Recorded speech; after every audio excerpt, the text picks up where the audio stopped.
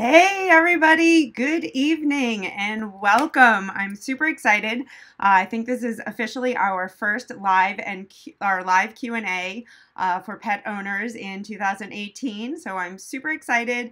Um, we're going to jump in pretty quickly because we got a ton of questions, which I'm not surprised because unfortunately, lymphoma is one of the most common cancers that we see in dogs. And so a lot of you are unfortunately probably being affected with it. And I got a lot of great questions. Hey, Mike, thanks for joining us.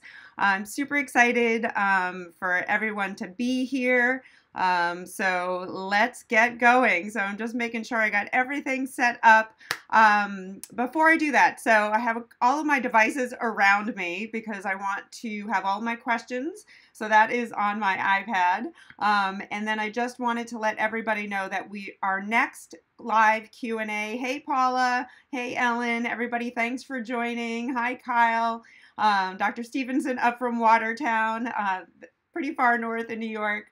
So our next live um, Q&A for cat lymphoma will be on Thursday, February 15th at 9 p.m. Eastern, which looks like will be the day after my beloved Matilda has her second TPLO surgery, which is scheduled for Valentine's Day. So uh, we'll have her here with me resting, uh, cage rest, very strict. Okay, so guys, um, lots of questions. I think we got over 15 questions. Luckily, some of the questions overlap, so hopefully we will get to all of them. If not, we might just have to do a part two. So again, thank you everybody for sending in the questions. I'm really excited. Um, I will try to keep glancing over at the comments, so hopefully I can answer your questions also as we go. But I really want to um, get the questions um, that were sent in ahead of time, and I really appreciate everybody doing that because hopefully this will help everybody. Okay, um, hey David, thanks for joining um, from McCracken um, or Dr. McCracken from County Lane Animal Hospital. Thanks, everybody. Okay, so first question.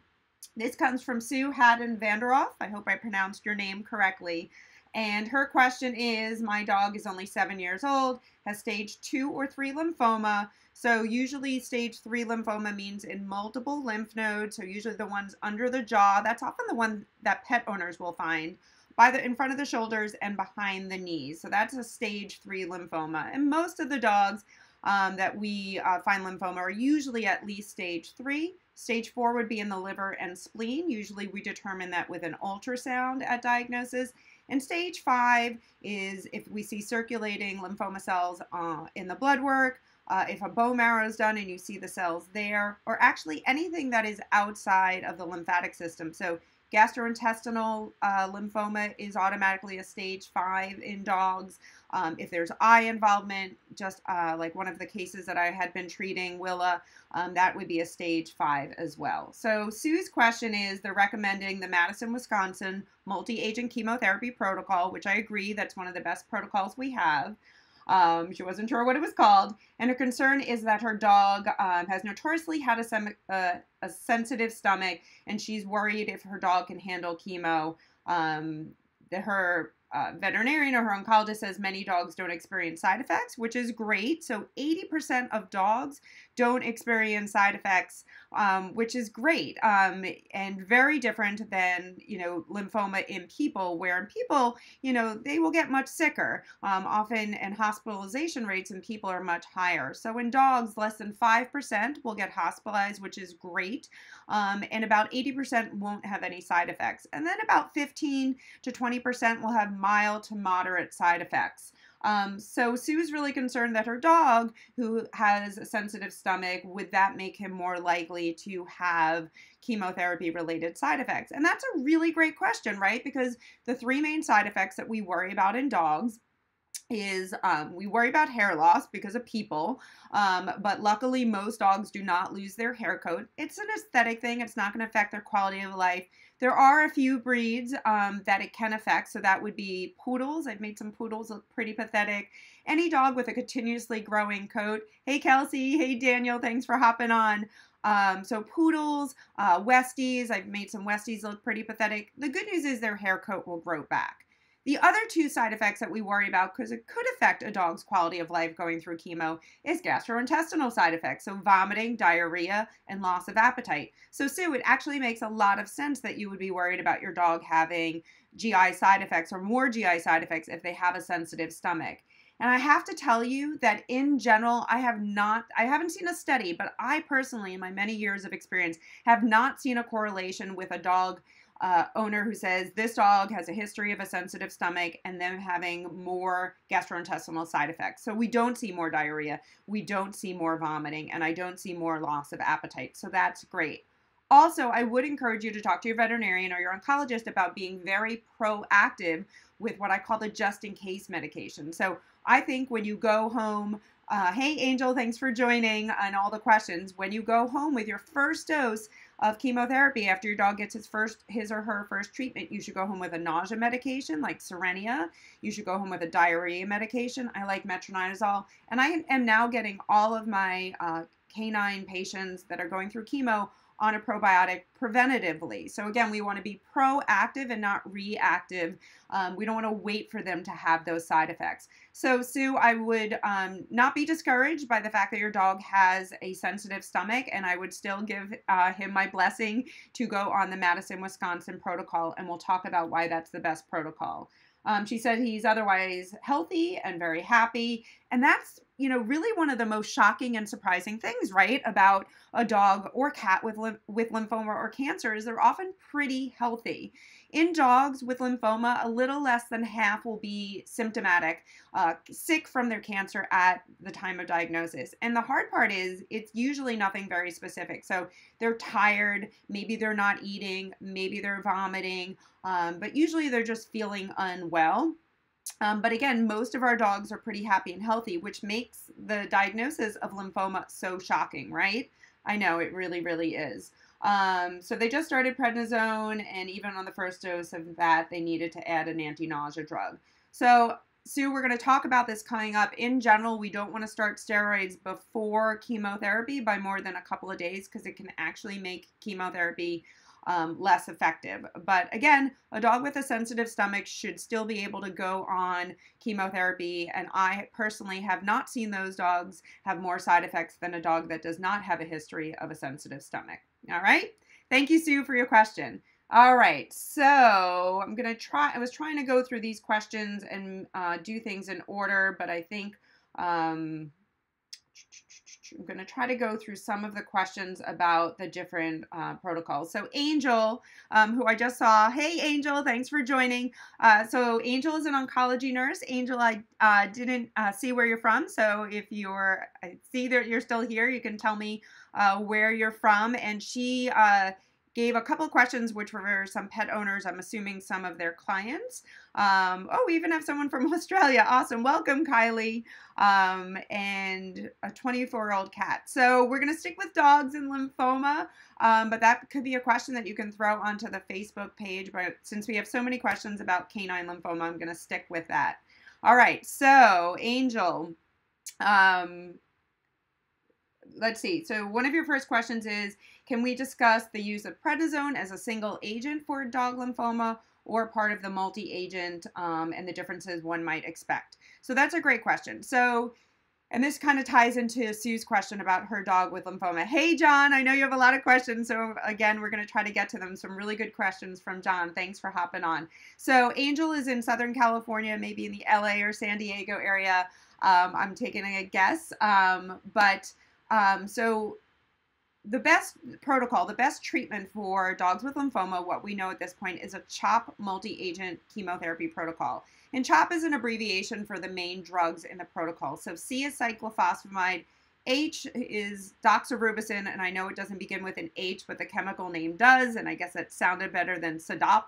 Uh, so it's uh, doxorubicin, O is the vincristine, which is uh, the trade name is Oncovin, and P is prednisone. And then often we'll use Elspar to get them in uh, remission in the beginning. So you'll hear the phrase as a CHOP protocol or CHOP L for the Elspar, which is sometimes again given in the protocol to get them in remission. So the great thing about that protocol is instead of a one month survival which is, I know, really, really rough for dogs with lymphoma with no treatment. With a CHOP multi agent chemotherapy protocol, the median survival times increased to about 13 to 14 months. So, again, remember that's the dog in the middle when they looked at all the dogs in the studies that were treated with that. And that means the median, if you go back to our math days, it's not an average, but 50% of the dogs will live longer than that, and 50% of the dogs will live shorter than that. One of my longest term survivors was a dog with a great name. That's why I'm smiling. His name was Jabba the Mutt. And he lived seven and a half years. He did relapse a couple years after his original CHOP protocol, went back on chemo. um, and successfully completed the second protocol and lived seven and a half years. So if we put him in the average, that could skew it. So again, with a CHOP multi-agent chemotherapy protocol, the median survival time is about 13 to 14 months. And that is considered to be the best protocol. There's a few different CHOP multi-agent protocols out there, a couple of different versions. Most oncologists use the University of Wisconsin Madison protocol for a couple of reasons. High remission rate, so 80 to 90%, some studies up to 95% of dogs will go in a complete remission. And we know going into a complete remission is really important. That means your dog's lymph nodes and wherever the lymphoma was at diagnosis, those lymph nodes get small and the cancer goes into remission. So getting into a complete remission has been shown to be good for overall long-term survival for the dogs. So the CHOP protocols provide high remission rates and they're very well tolerated. There are some other protocols out there that have um, slightly higher response rates, but again, you'll start to see more toxicity and in some studies, even more deaths related to chemotherapy. So obviously, we want to keep that down as well. So the CHOP multi-agent chemotherapy is my uh, treatment of choice for owners that want to do a multi-agent protocol. Um, in comparison to that, if an owner doesn't want to do chemotherapy, um, and sometimes unfortunately cost is you know a big factor because chemotherapy can be a lot of visits and very expensive. An alternative option would be steroids. So prednisone is the most common oral steroid that we'll use for lymphoma. And the great thing about that is that it will get the dogs into a part uh, into a shorter remission. So we see about a 50% remission rate instead of 90 to 95%, and it's much shorter. But the dogs will feel better. So once you absolutely decide against chemotherapy, I would definitely do steroids. I wouldn't not give steroids unless there's a reason that your veterinarian thinks it's not safe for your pet. Um, but again, the dogs will feel better and they will have a shorter, usually complete remission or partial remission the survival times are pretty dramatic, you know, differently. So you'll see about two to three months instead of that 13 to 14 months as the median survival time. But it is a great option. The other thing, and this is where lymphoma gets really confusing, right, guys, is that there are lots of other protocols out there. There are some single agent protocols. So if you don't want to do a multi agent protocol and you want to do something more than steroids, you could do a multi agent, or sorry, a single agent protocol. So you're not going in as often, it keeps costs down, and usually there's even lower side effects. The trade off, what do you think the trade off is? Usually lower remission rates depending on which protocol somewhere between 60 to 70 to 80 percent um, and shorter survival times. Again depending on the protocol and your dog and which type of lymphoma they have usually around seven to eight to nine months. So again it's going to vary but again it's nice to know that there are some options but it's overwhelming. And even in this live event, I'm not going to be able to pick the right protocol for your dog. So, what do you want to do? You want to talk to your veterinarian or ideally go see an oncologist. Um, I like to share this website and we'll put it in the comments because I think it's helpful if you're looking for an oncologist. You want to go to vetspecialist.com. And the great thing about that is you can put in that you're looking for a cancer specialist, you can put in your zip code, and you can find hopefully an oncologist in your area. If you do not find an oncologist in your area, I would recommend that you go into the internal medicine section for small animals because in a lot, uh, in some geographical areas where there's not an oncologist, there's only about 400 of us in the US, internal medicine specialists do have some training in oncology um, and then they can guide you through some of the treatment options as well. So, uh, Angel, hopefully that answers your question the differences between prednisone and the multi agent protocol.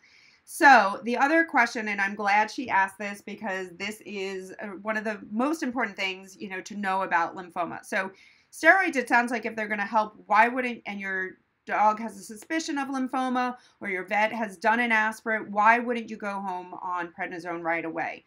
two important reasons. One is we know starting prednisone prior to chemo, multi-agent chemo or any chemo will unfortunately make the cancer cells less responsive to the chemotherapy. So again, you want to absolutely 190% eliminate the decision that you are going to give chemotherapy before starting your dog on prednisone because again, it's going to make the cancer less responsive. The other thing is it will start to kill those cancer cells. That sounds like a good thing, right? No, not actually. Because what if you didn't do all of the tests that you need to do before to figure out where the lymphoma is? So, like we talked about the ultrasound to see if it's in the liver and spleen. The other really, really important thing is that it will start to kill those cells and make some of your diagnostics possibly non diagnostic. What do I mean by that? So, one of the most important things that we can find out for lymphoma is whether they have the B cell subtype or T. So, in general, we say B is better. Those are the dogs that have the higher remission rates and the longer survival times. And so, usually, that's an add on specialized test that will require collecting some cells from those lymph nodes again. And so, if your dog's already on prednisone, a lot of the times when they come to see me, I can't do this test called flow cytometry to figure out if they have B or T cell. Is that a big a deal? Two reasons it's a big deal. One is we know the B cell dogs tend to do better. And the second reason is we will potentially change their chemotherapy protocol based on B versus T cell. Um, I personally will modify the CHOP protocol for a B cell lymphoma, for a T cell lymphoma, and put lomustine in instead of doxorubicin. And if I know a dog uh, owner wants to do single agent chemotherapy, so just give one drug, not come in very frequently. If they have B cell, I'm going to pick doxorubicin. But if they have T cell, I'm going to pick lomustine. And we have a couple other questions about lomustine um, on my little question uh, screen. So again, that is definitely something um, to think about. You know, so you want to make sure that you're not going to give chemotherapy before you start your dog on prednisone. One of the things that I like to tell veterinarians when I'm lecturing, and one of the things that I really think is, you know, important as a pet owner to know if you're, you know, if you're ever have to deal with this decision from the start, well, what do you do if your dog's not eating while you're waiting for your test results to come back? We can start nausea medications. Cerenia is a great vomiting medication, and now there's a relatively brand new drug called Entyce uh, E N T Y C E, uh, and that is a new appetite stimulant, and we can put that link in the um, in the comment section as well. So you can use nausea medications and appetite stimulants to make your dog start eating while you're waiting for your test results to come back. Because prednisone is a great appetite stimulant, but again, it's going to make the cancer less responsive and screw up the diagnostics. So those are things that we don't want to do. So hopefully, um, that answers that question. I'm going to keep going. So I just see one question here. Oncologist said that B cell was more deadly than T cell. Um, our doc was Dr. Ward. So um, no, in um, in general, B cells are better, and the T cells tend to be um, a little bit more resistant to chemotherapy, and in general have shorter survival times. Um, so um, unless there was something special about that case, but in general, we say B is better. With that said, because you know a lot of times people will say, "Well, my dog is T cell, I shouldn't treat," right? There is no point, and I absolutely disagree um, because I do have T cell dogs that sometimes do better than my B cell patients. So nothing is a guarantee, unfortunately. Um, you know, it's very frustrating for an owner with a dog that has B cell lymphoma when they don't respond as well as they should. So again, um, I still recommend that dogs with T cell um, can have treatment, but again, I will adjust their chemotherapy drugs for that. So I think that's important information. So hopefully that helps. Okay, um, I'm going to come back to that other question, Angel. Um, she had a question about hemangiosarcoma. So I'm going to try to stick with the CHOP chemotherapy uh, theme, and then we'll kind of hit some of the other ones because there was definitely some questions about low lomustine. So uh, Lynn White from Annapolis, Maryland says, Hi, Dr. Sue. My cocker is doing well in the CHOP chemotherapy protocol. 10 months since diagnosis. That's great. All lab work is good except for the liver measures. Can you talk about how the liver plays in detoxing chemo? Uh, her dog is on Denamarin and ursodiol daily, and her ALK one of the liver values, is currently elevated. Um, in the 1200s. So um, the liver is a very important organ. Um, I'm just laughing because it has so many functions, but yeah, it definitely metabolizes and breaks down a lot of the chemotherapy drugs, and so that's why we want to make sure that liver values are okay and liver function is okay. Um, one of the the things that we were just talking about, steroids, prednisone can cause um, the alk phos, which is this one of the liver values, to be elevated, and denamarin, um, which is milk thistle. A supplement. Milk thistle and SAMe can help with that detoxification um, of the liver because uh, the prednisone causes free radical damage. So it's an antioxidant, so it can help with that. Um, if your dog is off steroids and off um, chemotherapy and the alk phos is still hovering in the 1200, which is pretty elevated, um, you know, other things can cause that. It may be Cushing's, you know, can cause that, which is uh, hyperadrenocorticism. So it may be that you want to talk to your veterinarian or your oncologist or an internist about other causes of elevated liver values. For the dogs that their liver values get elevated when they're on steroids, usually as they taper off their steroids and then the addition of denamarin, their liver values will normalize. Um, a high alk phos doesn't mean that the liver is not functioning well, but it just lets you know that um, this enzyme is being released into the blood, and there's a couple of different things that can cause it. So, uh, if the alk is still elevated and not improving on denamarin, I would talk to your veterinarian about maybe an ultrasound and some additional testing to see what's going on there. Um, but again, there are some drugs that it's really important, like if the liver value, something called the bilirubin, is elevated, one of the drugs, vincristine, needs to be lowered actually pretty significantly because that is metabolized and cleared by the liver. And if the liver is not clearing it, it stays around in the dog's blood and in their body longer, and they can actually get pretty sick and get those low white blood cell counts. Which reminds me, I forgot to talk about the third side effect. We talked about hair loss and GI side effects. The third uh, side effect, I'm just laughing at myself, is uh, a low white blood cell count. So that is because chemotherapy can damage rapidly dividing cells, which is the hair in certain breeds that we talked about, the GI cells, um, and the white blood cells, the neutrophils, which are their infection fighting cells. So every time your dog goes in for chemotherapy, they should have a white blood cell count checked, which is part of a CBC to make sure that their white blood cell count is okay. And if their white blood cell count is low, they may delay chemo depending on which drug they're getting. And if it's really low, they may actually uh, do some antibiotics. So those are important things to know.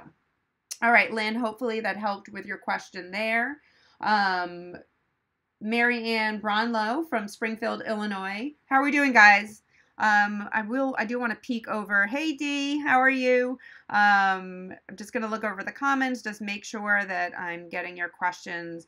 Uh, Mandy, we are going to talk about the lymphoma vaccine. I promise. Um, what do you recommend for weight gain and prednisone?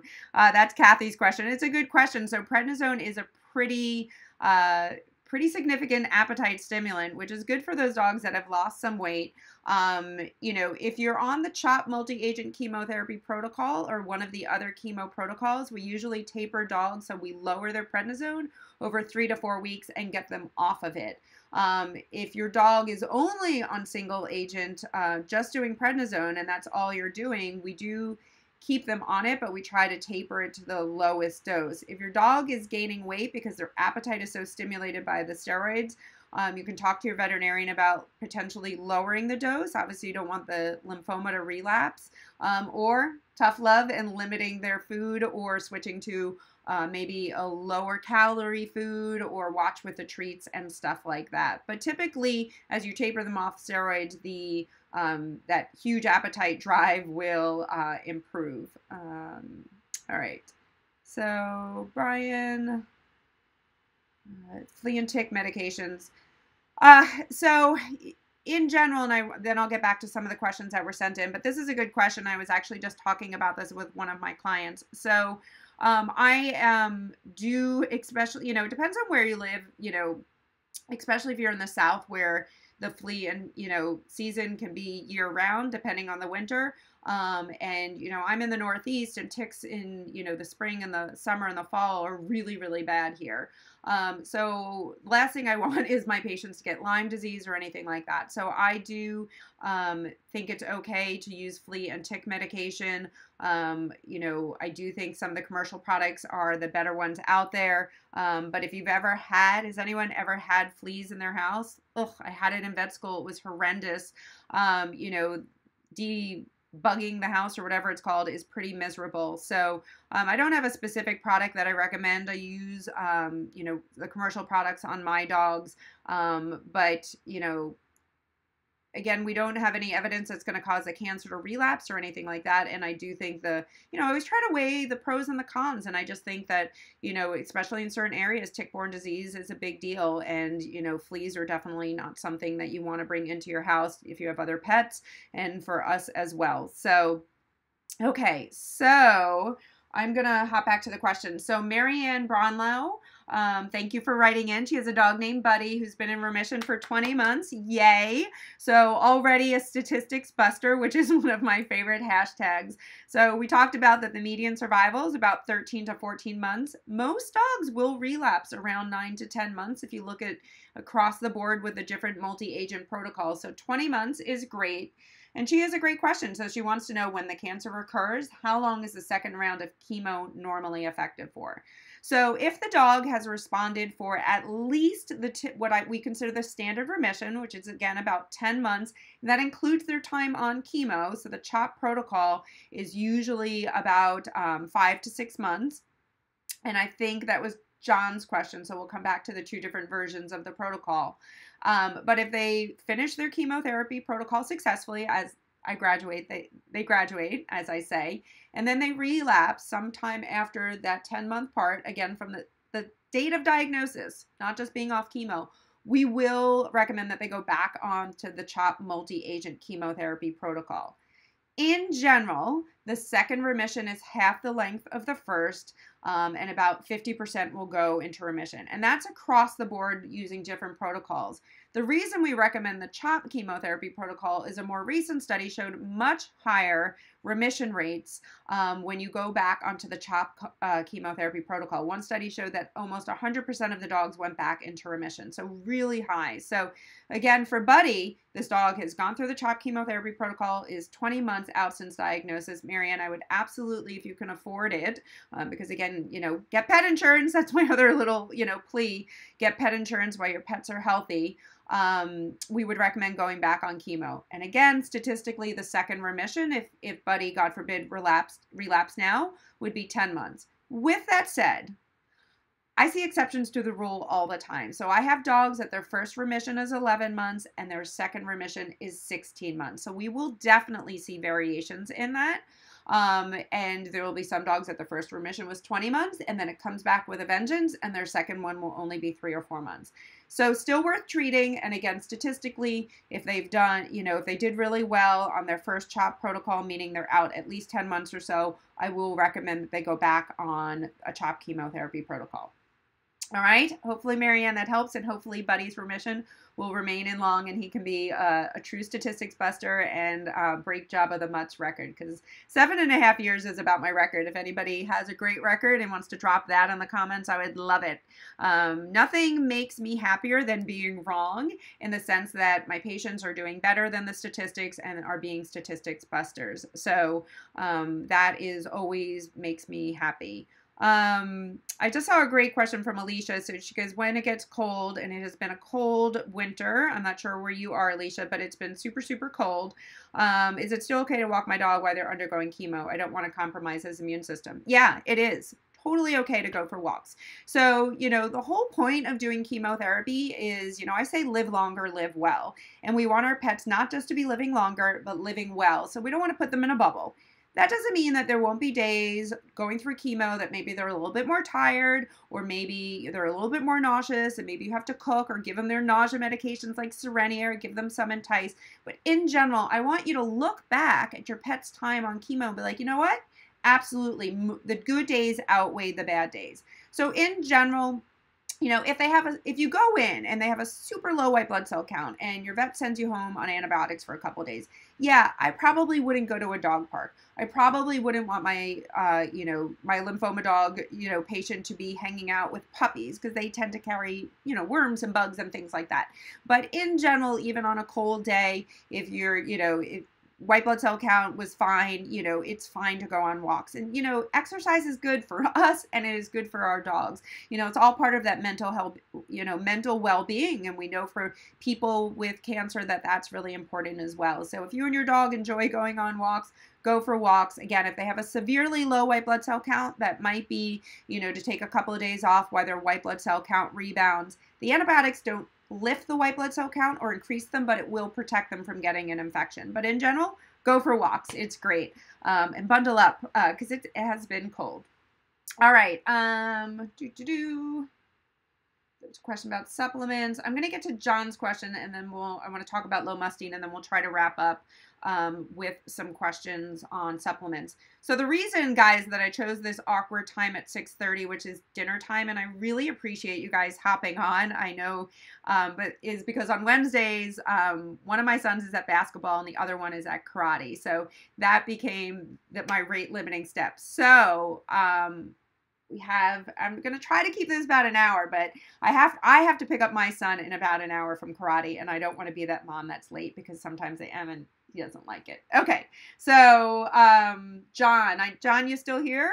Hopefully, you're still here. Um, oh, Alicia, you asked that question about facial paralysis. That's going to be um, if it's from the lymphoma and the lymphoma is in remission, it, often the paralysis will go away unless the nerve damage has been permanent. But John, I hope you're here. I'm gonna scroll on down. Yay! Hey John, where? Let's see, John. I don't know where you're from, but if you want to put us in the comment section where you are, that would be great. So John, uh, you had some really great questions. Um, so Lola um, is his Weimaraner. Uh, two months into the CHOP chemotherapy protocol for B-cell lymphoma. So as we talked about, that tends to be uh, the better lymphoma. So again, higher remission rates, longer survival times, uh, and CHOP chemotherapy would be the protocol that I would pick. Um, and want to know and this was somebody else's question as well. So what is do we the there's a lymphoma vaccine which is by Merial, and he wants to know do we know about the efficacy? And we don't. And that's really the frustrating part. And that's why a lot of oncologists are not using it routinely in our protocol. So it's immunotherapy. So most of us think as vaccines like rabies vaccine, right? We want to give it to our dogs to prevent them from getting a disease like rabies. There is now immunotherapy, such as the melanoma vaccine, which we use in dogs uh, once they're diagnosed with malignant melanoma. And so the same company that developed the melanoma vaccine developed a lymphoma vaccine. It was shown to be safe in the initial studies, but there's not a lot of efficacy data out there. And so I think the idea behind it was if we could show that it's safe and then we can get it out, and then, you know, hopefully there'll be some studies, maybe by universities or oncologists in practice, showing its efficacy. So I have a few colleagues that are using it, but at this point, we don't know whether or not it will increase their survival times and their remissions, which is obviously the goal. So again, I wish we had more information. I was hoping that there would be more studies um, that would be out now by it, but again, we don't have more information about the lymphoma vaccine. I do know that the vaccine is you're supposed to go through the chemotherapy protocol, and then you give four vaccines. It's an intramuscular injection similar to the malignant melanoma vaccine two weeks apart for four doses, and then they get a booster, I think, every six months. Again, you know, probably safe for your dog to be on it, but again, whether or not, you know, it's going to help, we don't know yet. So stay tuned. Hopefully, we'll have more information.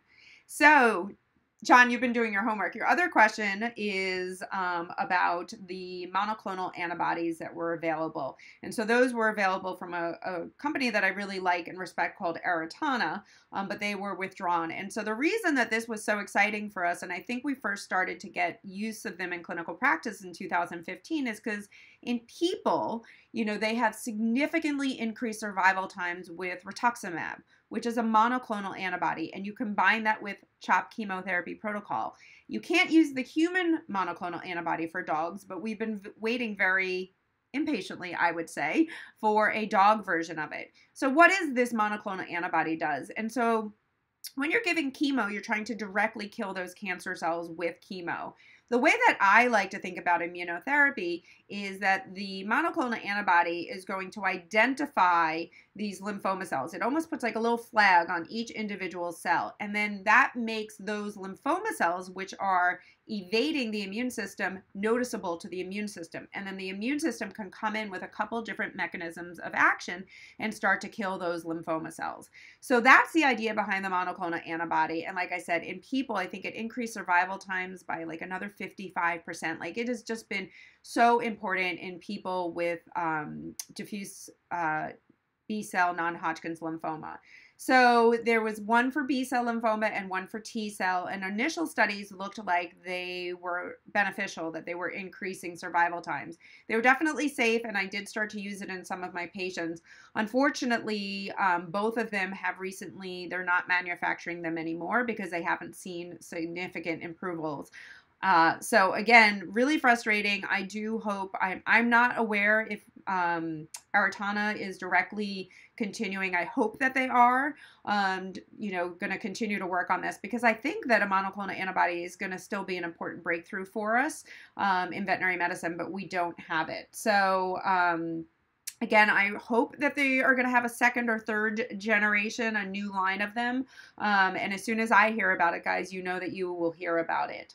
Um, yeah, I'm hoping it'll be available as well. So, John, I don't think those were probably the answers that you were looking for uh, regarding the lymphoma vaccine and the monoclonal antibody, but I think you know they're important to know because they're not inexpensive, uh, requires extra visits to the vet, and we want to make sure that you know two things, right? Anytime there's a new hot therapy that's out, you want to know is it going to be safe for my dog? Um, probably three things. What's the cost going to be? How often do I need to go to the vet to get it? And, you know, what is the efficacy? What is the likelihood that my pet will live longer and be in remission more successfully because of that? And what are the side effects, right? We also don't want the side effects to do, be too bad. That might have been the first one. Anyway, um, John, I hope that helped. Uh, give me a thumbs up or something like that if it did, or just shout out in the comments. Um, and then John had another question, and I alluded to this. Um, John, you still here? I'm gonna take a sip of water. Is anyone still here? See a couple of you there. Anybody drinking something more fun than I am? Because it is happy hour. So I went with water. I was going to make tea, but I kind of ran out of time as I was getting my sons. Hey, John, great. I was getting my sons out of the house. So I'm just drinking water and I'm drinking out of a sippy cup, as I say, because I have spilled too many beverages on keyboards and other electronic devices. So I am not allowed by my own rules and my husband's rule to have open cups um, by the um, by any devices. So a little shout out to Denver. I got this at one of the conferences. All right. So, John. You uh, next question is uh, you wanted to know if there's a difference between the 19 week version of the CHOP protocol and the 25 week protocol. So the original one is 25 weeks. It is the exact same protocol as the 19 week. So uh, it's weekly for each cycle, and a cycle is four treatments, and then there's a week off. And the 19 week protocol is just four cycles one week apart with a week off after doxorubicin, and that takes 19 weeks to do. Sorry, uh, that's the 19 week. The original version, after the second cycle, you went to every other week. Same drugs, same dosages. It was just more spread out in the beginning. They went to the 19 week protocol because the idea was dose intensity, is giving the chemotherapy in a shorter period of time increases the dose intensity, which has been shown, especially in a lot of human studies, to be correlated with better survivals. Um, that was when I made the shift. Um, to my knowledge, there is not a study that really compares the 25 to the 19 week protocol. I picked the 19 week protocol mostly because again, the there is a lot of science behind the idea of that dose intensity, which is giving the chemotherapy in a shorter time period. Um, and I do find that they tolerate it very well. With that said, I do have some dogs that, you know, getting there weekly is a pain in the butt. I'm happy after the halfway mark to go to the every other week protocol. Or maybe they're getting some low white blood cell counts. Um, they're, they're in remission, and rather than lowering the dose, we can continue at the every other week after we get to the halfway one. So um, I haven't seen a difference in side effects, um, in in response rates, or anything like that. But again, I use the 19 week protocol as my first pick. Um, but then again, if the owner is having problems getting there weekly after week nine, which is a halfway point, I'll go to every other week. So um, and again, we'll finish at 25 weeks. So, um, John, which protocol is Lola on? Is she on the 19 or the 25? If you want to put that in the comments. And like I said, I don't think that there's a right or wrong. Um, and you could always talk to your, you know, your cancer specialist or your veterinarian who's ever treating and ask them why they pick that one. But I think either one is a good option uh, as long as, you know, again, Lola's in remission and doing well. I wouldn't, um, you know, have any problems with that. All right, so everybody still doing okay? John, hopefully that answered your questions. Those were great questions, um, and I hope that Lola um, stays in remission. You said she's two months into it, and we hope that she is a statistics buster for sure. And you'll have to keep us updated. Um, and maybe um, on the Dr. Sue page, you can put a picture. I love Weimaraners. They are very, very cute, uh, usually very high energy. So at least the ones that I have met. Okay, so there was a couple of questions about lomustine. So um, this was from Crimson Dressler. She goes, what is a range and how frequently low lomustine can be given under doctor's supervision? Of course, thank you for that. Um, my lab, Golden Rufus, uh, he's 110 pounds. That is a big dog. In November, he's on 110 milligrams once every 21 days along with daily prednisone. His lymph nodes shrink to nothing the first three days after lomustine and then spend the next two and a half weeks swelling up again. Uh, we've not had a remission, just that two to three interval where their nodes are normal. So he was diagnosed in the second week in December, just turned five the week before. Mm, it always sucks around the holidays, right? Um, let's see if I didn't scroll down. Ah, Sorry. Hey, Christine. um, sorry. For some reason, I missed all these questions because I didn't scroll down. I'm not the most technical. Don't tell people. Um, what is your personal experience? So, just looking at the questions from John. Uh, he's still here. Bruce is drinking Diet Coke. we have some chai tea. Um, next time we're doing wine. I'm in cold northern New York. Yep. Um, okay keep you updated. They are extremely high energy and very lovable. They are. So sorry about that, guys. I forgot that I needed to scroll down. So um, I'll get better the more we do this. Um, okay, so um, the question from Crimson is, um, so her dog was diagnosed mid-December, got his first dose of, so he was on Pred first and then went on to Lomustine. So, not to be Debbie Downer, but we talked about this in the beginning of the of the session, right? So being on prednisone, unfortunately, has been shown to make make the chemotherapy less effective. So I'd be concerned because one of the other things I mentioned is getting a dog in remission and having a two or three day response to chemotherapy and then the next three weeks with the interval with the lymph nodes swell up again. That's not a remission. Remission is something that is durable. So usually two to three weeks at least would be. So that waxing and waning is not great. Um, we want our pets to get into a complete remission and hold that remission. And we do know that dogs that go into a complete remission um, end up living longer and having those longer survival times, which is what we want. Um, so again, I would be concerned that the being on prednisone may have something to do with that. Um, in general, low lomustine is given every three weeks. Um, we don't want to give it sooner than that um, because it can have additional side effects, and we'll go through those in a sec. I just want to make sure I answer the question. Uh, they moved up the dose in 24 hours. He's markedly better. Yeah. So one of the reasons in general we don't give low lomustine more frequently is so we talked about the side effects. Remember in the beginning we talked about hair loss. Not a big deal. GI side effects usually mild to moderate, and we can help prevent them and shorten them with the appropriate medications and that low white blood cell count. So usually that's the neutrophils. Lomustine has two special side effects that it can cause. One is it can cause low platelets. Um, usually we see the plate low platelets with multiple doses. So it's what we say it's cumulative. So usually you'll start to see it after the couple of doses. I've had some dogs where I've given 10 doses of Lomustine at every three weeks apart and they don't have any platelet issues, but I've seen some dogs after the third, fourth, you know, they can have it. And if the platelets are low, we need to give them time to rebound. And I have had some dogs on lomustine that their platelets never recovered and they got so low that we were worried about bleeding issues and bleeding out or bleeding internally, nosebleeds, and things like that. So it's definitely something that your veterinarian, your oncologist is going to be watching for if your pet's on lomustine. Not only is the neutrophils, the white blood cell count okay, but the platelets. So that's one of the reasons that we don't give it more frequently than every three weeks.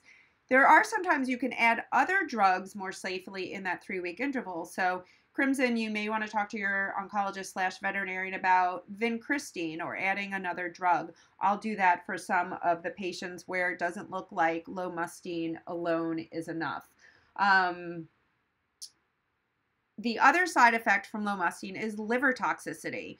And that's something that if your dog is getting lomustine, so we talked about if you're getting regular other, not regular, but some of the other chemo drugs, you're always going to get that complete blood count the day of chemo or within 24 hours, right? Because you want to check the white blood cell count and make sure that the white blood cell count is okay. Um, if your pet is getting lomustine, we also need to check one of the liver values called the ALT. And usually if it's more than two times the high end of normal. So usually around 250. Most labs about 120, 125 is normal. I'm probably not going to feel really comfortable giving lomustine. Um, I will delay treatment and potentially give something that's a little bit more liver friendly. Why? Because lomustine can cause liver failure. And in one of the original studies, it was um, the, the dogs didn't recover from it. I've had one dog in my career uh, go into liver failure from it, and with a couple of days of hospitalization, his liver did forgive us, and um, you know he did recover. We never gave lomustine again. We switched his protocol, um, but again, um, you want to be really careful. So those are some of the reasons why you wouldn't want to give lomustine more frequently than every three weeks. So Crimson for Rufus. Um, I would want, you know, since he's not really getting in remission, I would talk to your oncologist, your veterinarian about ideally I'd switch drugs. I'd switch protocols um, or try to add something else like vincristine or one of the other drugs that we use. Um, so Mandy, um, she is saying that her dog's appetite has increased since being on chemo in October and has gained 15 pounds. We're an Italian family that generally shows love with food.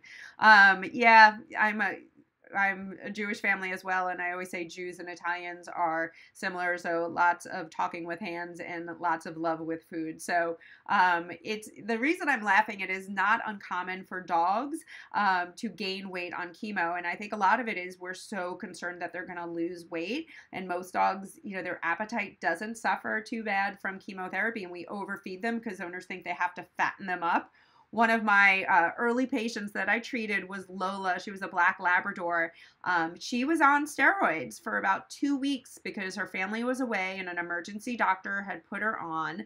Um, when she came home, her uh, her veterinarian in my area, her general practitioner, referred her to me, and she even wrote in the record, "I didn't start the prednisone. I know better." And I told Lola's owners, you know, in general, this is going to make the chemo less effective. You know what? Her first remission was four and a half years. So again, remember, remember, Dr. Sue loves to be wrong in those scenarios. So that was a great example where being on steroids did not hinder her response. But the other point with Lola is after she finished chemotherapy and she came in for, I hadn't seen her for a while. Mom stopped coming in for rechecks. Um, she had four kids. Um, if Stacy is on, Stacy Conlon will definitely, she was my chemo nurse back in the day. She now works for Dr. Stevenson up in Watertown. But Kyle, ask her about Lola. Um, she gained 25 pounds. She also developed soft tissue sarcoma before her cancer relapsed uh, four and a half years later. So, again, it's not uncommon for our dogs. So we don't want them to gain weight because, you know, a lot of our pets can do well. And we do know there's a great study in, in, in Labradors again, where Labradors that were leaner, uh, they, um, they live two years longer. And think about that like two years in a dog's life is a really long time. So, you know, again, exercise, healthy eating, adding, you know, fruits and vegetables, the safe ones for dogs to their diet are all really good things. And we're going to finish up with some of the supplements as well. So, um, Crimson, hopefully that answers your question. How's everybody doing? I'm going to remember to scroll down. Um, yeah, Piper gained a lot of weight. Judy is saying, um, let's see, David, if you started CHOP with flow cytometry, does this mean you would only use lomustine if CHOP doesn't work? So, um, David, I'll say that without mumbling. if I started CHOP chemotherapy based on flow cytometry, does this mean I would only use lomustine if the CHOP doesn't work? So, if I had a B cell, which is the 60 to 80% of dogs have B cell lymphoma, which is the better one. If they have B cell, I would continue with the CHOP chemotherapy protocol. If they have the T cell, T is in Tom, I personally, there's not a study, I'm going to be very honest with you, there's not a study that shows that this is better, but there is a study that shows that the T cell dogs don't do as well in the CHOP protocol. I pull out the doxorubicin, which we know they don't do, they don't, the T cells don't as respond. We know that they respond preferentially to lomustine, so I put the lomustine in the protocol. So every week where there's a doxorubicin, I put in the lomustine. Um, I'd love to be able to do a study and show that. Um, and then if an owner, if we know their dog has T cell lymphoma and they want to do single agent chemo and not the CHOP chemo, I would do single agent lomustine. If they have B cell, I would do single agent doxorubicin, both of those at every three weeks. Um, Doxo can go up to every two weeks, but lomustine I would not give every um, two weeks. I would stick with the three week interval. Um, so hopefully that helps. Um, yeah, so Shelly, um, and I'm not sure if um, you had actually asked this before, but I got another question. What do we do to keep the dogs in remission? And that is a great question. I'm just going to see. Um, no, so the, uh, Patricia also, uh? I'm horrible with last names. Um, Patricia also asked the same question, Shelly. So the question is, what do you do to keep a dog in um, in remission. How do we do that? So there's it's very hard. So I think one thing, and let's just kind of step back, is enjoy the time with our dogs, right? You know, I think a lot of the times once they graduate with chemotherapy, um, we do worry about um, when is the cancer going to come back? And you can really just lose sight of why we treated our pets with um, chemo and why we treat their cancer. So they can have a great quality of life and that we can. Um, you know, we can enjoy their time and their time with us as their family. So remember to stop and enjoy each day with our pets because it truly is a gift. But to answer the question, what can we do to keep them in remission? So one thing I think that is important is at least in my opinion, monthly appointments with your veterinarian, with your oncologist to feel their lymph nodes aspirate the lymph nodes. There's a lymphoma blood test that we can use for uh, monitoring, which can detect um, relapse earlier than the lymph node aspirates when you stick a needle in their lymph nodes. Um, and that is by Avacta. Um, and hopefully we can put a link in that so you can tell your veterinarian about it. It's not a, a super popular test, but it, it should be in my opinion. So again, one of the things I think you should do is monitor because when they relapse, just like early diagnosis in the beginning, we want to find that early so we can get them back on treatment as soon as possible. Um, other things I do like are supplements. And so, again, there's not as much science behind the supplements, whether or not they will prevent the cancer from coming back, but I have a couple of ones that I like, um, and I will actually start my patients on during their chemotherapy. You guys have been on any of my um, ones before, I definitely recommend Apocaps, and we can drop that in the supplement. You do not want to use Apocaps at full dose if your dog is on a non-steroidal like Rimadyl Deramax. And you do not want to use Apocaps at full dose if your dog is on prednisone. So I usually wait until my uh, patients are off prednisone, they're tapered off the prednisone, and then I will add Apocaps. Is a plant-derived supplement, has um, curcumin from the um, turmeric spice, apigenin, luteolin, milk thistle, some gingerols. So it's a multi-plant supplement that will help promote, we hope, uh, cell death of the cancer cells. So I like Apocaps. Um, I like fish oils. Uh, lots of benefit of fish oils, healthy heart, healthy skin, joints. Um, my Matilda, who's getting her TPL surgeries on fish oils. Um, but there's also anti-inflammatory properties, and we think that that help ties into an anti-cancer effect. Um, I know that somewhere in the question someone asked how much fish oils, um, and I don't want to misquote, but I think it's 700 milligrams total of the um, the DHA and the other one, which is escaping me at the moment. Um, but don't quote me on that, and we will put it in the comment section um, by tomorrow because I want to look up that dose. So fish oils, Apocaps, and then the other thing that I personally like are the um, mushroom polysaccharides. So there's two main ones on the market. For most of my patients, I like Canine Immunity Plus. Um, it is um, an immune booster. It helps uh, hopefully modulate the immune system. So we know one of the problems with cancer patients is their immune system is not recognizing these cancer cells as foreign. So I like Canine Immunity Plus. There's also I iMmunity which uh, for another uh, podcast we'll talk about, is the one that um, they use uh, in the hemangiosarcoma study at Penn. It's significantly more expensive. So, again, I think during the lymphoma treatment, I like the Canine Immunity Plus, and you can get that on Amazon. So, uh, if you're all Amazon Prime, and if you're not, I don't know why you wouldn't be, um, you know, I would definitely recommend that. So, um, so yes, we will hopefully link the supplements. Uh, but again, Apocaps, Canine Immunity Plus, and a fish oil. I use Nordic Naturals. There's a lot of great fish product or fish products, a lot of great um, products out there. Um, you know, also I co-wrote a book a couple years ago with Demian Dressler, Dog Cancer Survival Guide. There's a lot more supplements in there, and I think if you're really interested in supplements, it's very um, helpful to contact an integrative or holistic veterinarian, um, and they can help you with that. Uh, turkey tail mushrooms, another option as well. Uh, yes, there are people helping me remember um, the different fish oils. So um, fish oil or salmon oil. I'm going to put all those comments in um, you know, there's krill oil as well, but I'm going to put all that in the comments later as well. So, yep, 700 milligram fish oil in all sizes, and you can divide that. The main side effect with fish oils can be diarrhea. So, again, I don't start all the supplements at once, even. Um, you know, even if you're just doing steroids, because again, I think that it's, you know, then you don't know what's causing the side effects. So I usually personally, when they start their chemo treatment, I do nothing except for the chemo the first week and steroids. Then I personally add the canine immunity. Then if they're not having GI side effects, I'll add the fish oils in the next couple of weeks. And then I will add Apocaps once they're off their steroids. I'll add that in at a slightly lower dose and then bump them up once they're done. Uh, Kathy loves the book and thank you very much. I appreciate the feedback. Hey, Laura. So Laura works at my practice, the Veterinary Cancer Center uh, in Norwalk, Connecticut. So if you guys are looking for me, that's where I am now. I changed practices a couple of years couple of years ago, a couple of months ago.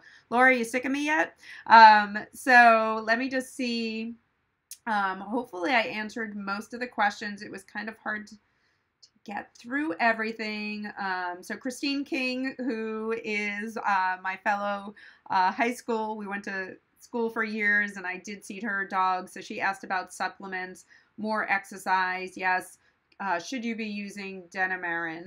Um, I Denamarin is that liver supplement. If you're on low lomustine, to go back to that, I do recommend keeping them on Denamarin. There was a study that showed that they're more likely to stay on Denamarin longer and have less liver uh, side effects. Another study disproved that, but again, if I have a patient that is on lomustine, I will keep them on Denamarin.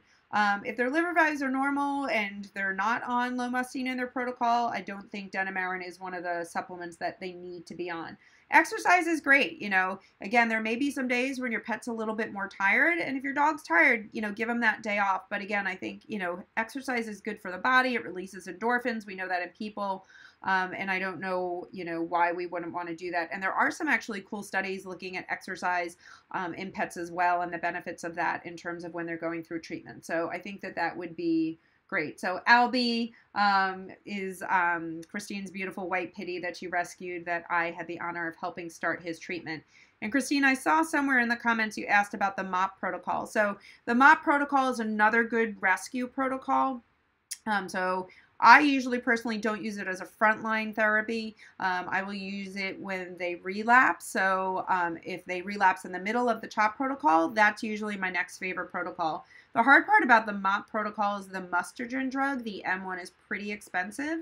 Um, so it can be a little bit cost prohibitive, but that's one of my favorite multi-agent protocols for if they don't respond to the original protocol, um, or if they relapse, and that is a good protocol that I like as well. And it's surprising how well tolerated it is, considering it's another multi-agent protocol. They get the Mustargen and the vincristine or vinblastine, one of these, one of those two drugs with the Mustargen on the same day, and they actually do pretty well. And then they go home on oral chemo for two weeks. So that is, um, I like milk milk thistle as well. Uh, Judy, thank you for coming to the broadcast. Um, how much milk thistle? I do not know, Patricia, the milk thistle amount offhand. Um, if you're using Denamarin, milk thistle is in it. So Denosyl was the, the earlier version of that, which is just the SAMe, um, but milk thistle is in that, and I usually use that. I don't supplement it. Um, so that would be something that maybe your veterinarian could look up for you or a holistic vet would know. But again, um, I usually use the amount of milk, milk thistle. There is also some milk, milk thistle in the Apocaps as well, and I don't have any problems if I'm using Denamarin with Apocaps. I do that all the time. Let's see, we have a few more minutes before we have to get Hudson. Um, I use canine immunity. What do you suggest with her eyes? Um, facial paralysis, I'm not going to be able, Alicia, to really make specific recommendations regarding your dog. You want to talk to your veterinarian about that. But, you know, if they can't blink well, they need to be on, you know, some sort of lube and things like that. Because if they're not able to blink and get their tears, they're definitely at risk for um, eye ulcers, corneal ulcers, which are super painful and things like that. So those would be the things that I would worry about is some sort of lube um, just to make, you know, some sort of ointment lube that will keep the, um, keep the cornea nice and moist. Just scrolling through, um, we talked about that, Angel. Angel had another interesting question. So she's the oncology nurse in Southern California, if I remember correctly. Um, um, surgery. So, sorry, trying to read. I can't read and talk at the same time clearly. So she wanted to, um, uh, had a question about hemangiosarcoma and lymphoma and are, as these are both blood cancers, is one the process of the other. So they're they're very different cancers, even though they do involve the blood. But um, hemangiosarcoma is a malignant cancer of the blood vessel itself, and lymphoma is a cancer of one of the blood cells, so the lymphocyte, which is part of our immune system. Um, hemangiosarcoma is of those blood vessels, so sort of the tubes that our blood runs through. Um, I have had dogs, so one of my uh, favorite German Shepherds that I ever treated, and if Stacy is on, she will remember Gunner as well. So Gunner um, was a lymphoma patient of ours, and I kid you not, he was I think he was out like like 18 or 19 months and on April Fools, on April 1st, he had a, a, hemo abdomen and they went in and did surgery and he had a hemangiosarcoma. And mom, you know, the survival time for that with surgery is about one to three months and with chemo about six to nine months. And uh, we added some more chemo and then some oral chemo. And mom's goal was to get him out a year, uh, which I told her was not likely, but we would do our best. So his lymphoma stayed in remission with the additional chemo. And um, he he ended up being euthanized on April 2nd the following year, so a year and a day. So again, another statistics buster, but they are different cancers. Um, hopefully that makes sense. And at some point, um, we are going to do some other topics as well, and hemangiosarcoma is a common one, so we, I'm sure that will be one of the ones that we start to do um, in the next couple of months. So. Um, in general, we don't do surgery for lymphoma. Um, and I know that's really different than most of the cancers. So if your dog has mammary breast cancer, we're going to do surgery first. If they have a, a soft tissue sarcoma or one of those skin cancers, you're going to aspirate it first, right? Why wait, aspirate? Um, want to be very proactive with lumps and bumps. But those tumors we tend to cut out. Osteosarcoma, bone cancer, we do surgery first before chemo. But this is a cancer of the lymphatics, of those lymphocytes. And those cells are circulating throughout the body. They're pooling in the different organs like the liver and spleen and things like that. So um, in general, we don't do surgery for lymphoma because they need chemo anyway. As we'll talk at the next one, in cats, sometimes if they have a GI obstruction, so if they have small intestinal lymphoma and it's obstructing, we may do chemo. Um, but in general, um, sorry, we may do surgery, but in general, chemo is the treatment of choice because this is, and you'll hear us say it's a systemic cancer. What do we mean that? It's in the system. It's throughout the system, so you can't cut it out with just surgery. Um, you know, same thing with radiation. So radiation tends to be a focal treatment. Um, I have had some dogs that have had really big lymph nodes that were like coalescing around their neck, and the dog was having difficulty breathing, and they're breathing with their neck out.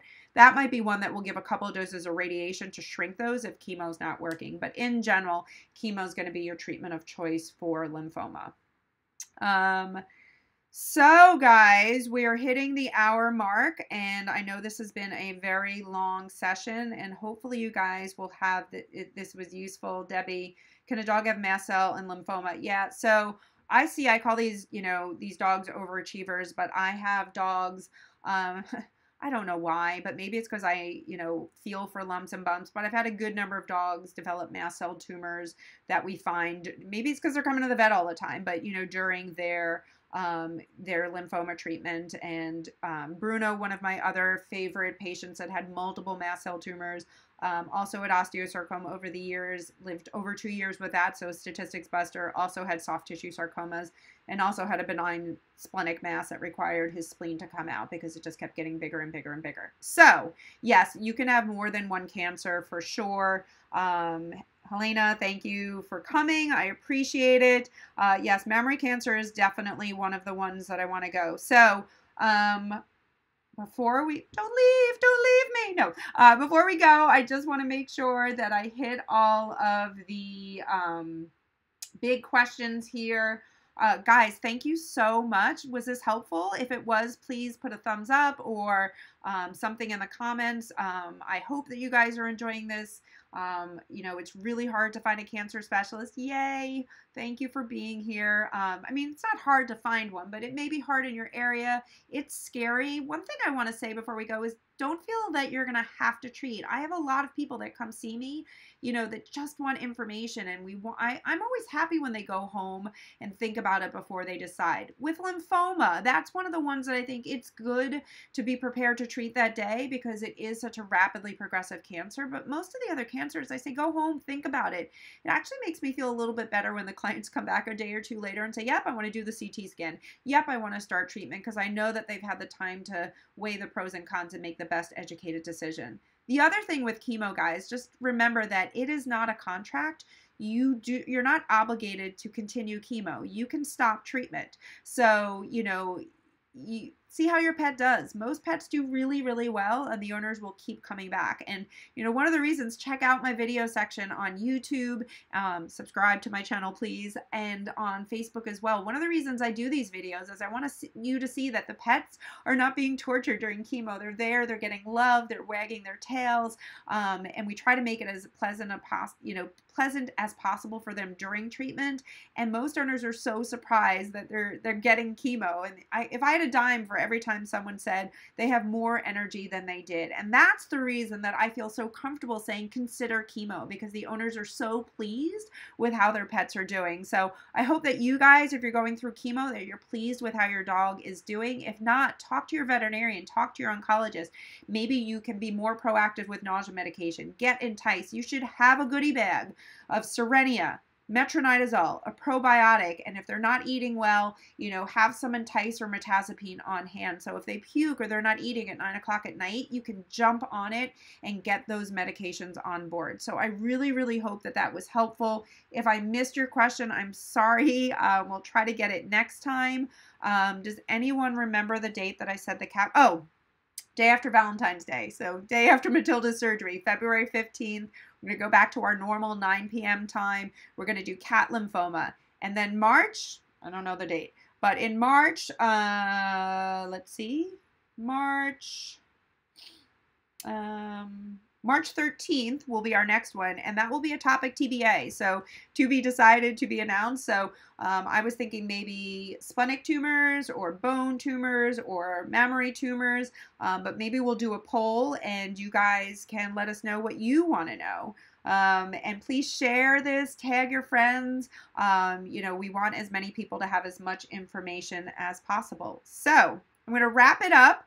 Um, thank you. Oh, Shelly, happy, well, do you want to spend your birthday with me? Um, hopefully, I mean, I want you to come to the cat one, but if you don't need to know about the cat one, you know, um, but good, it, you know, information is power. So, guys, I am so thankful that you chose to spend your dinner hour with me. Um, in California, it's a little bit earlier, and on the West Coast, I'm really, really appreciative.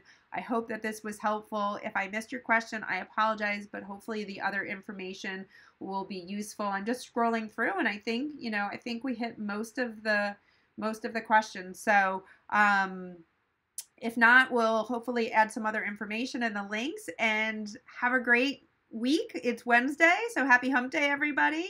And um, we'll see you at the next live Q&A, I hope.